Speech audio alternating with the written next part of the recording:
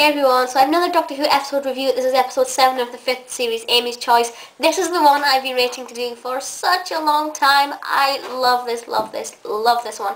First of all, when I found out that the new Doctor Who companion was going to be called Amy, I died. I was so ecstatic. I was like, oh, my world is perfect. Obviously, the two series passed now. I'm kind of used to having an Amy in the TARDIS.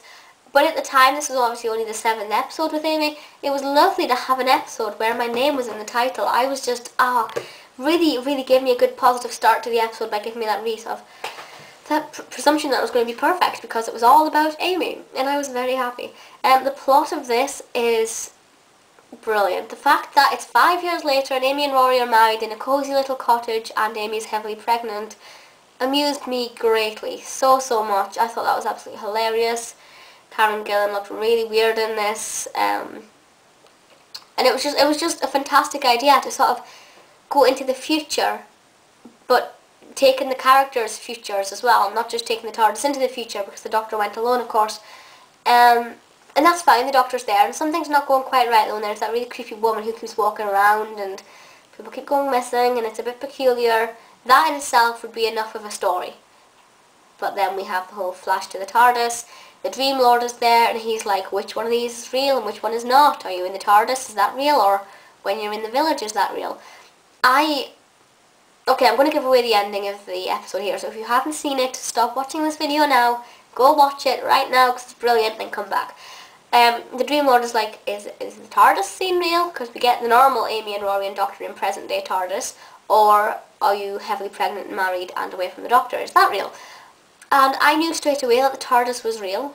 Um, I don't know why, I can't tell you why I knew that. I just, I knew that the TARDIS scenes were the real scenes. Call it instinct. And of course they turned out to be the case.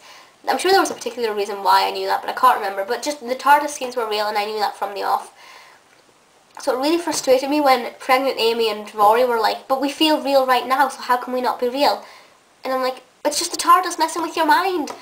So I was really annoyed at that, that they couldn't understand that the dream one was the, that the dream was the, um, the pregnant one. And I'm like, why can't you understand it? The TARDIS is real. So I got kind of annoyed at that. But it's absolutely brilliant. I love the way this unfolds. I just love, normally I don't like it when you have an episode that flashes between two different realms. I like it when they're in one. But this one I felt really worked. I loved it. I found the Dream Lord to be quite a creepy character. Creepy in a not scared of but want to know more about kind of way. I just love this. It is fantastic.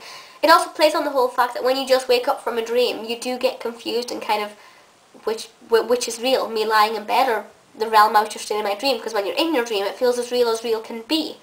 So it plays on a lot of things that we do worry about anyway.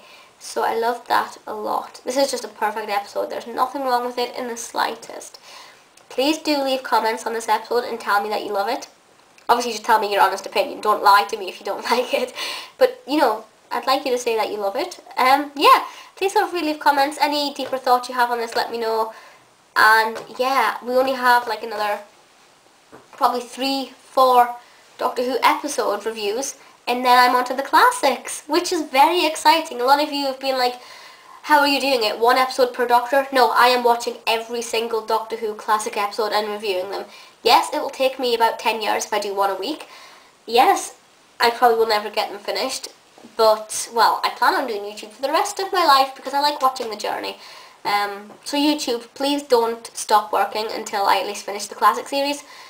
but I can't wait to do that. Very looking forward to... What's the first episode called? The... No, not Stolen Earth. Um, the...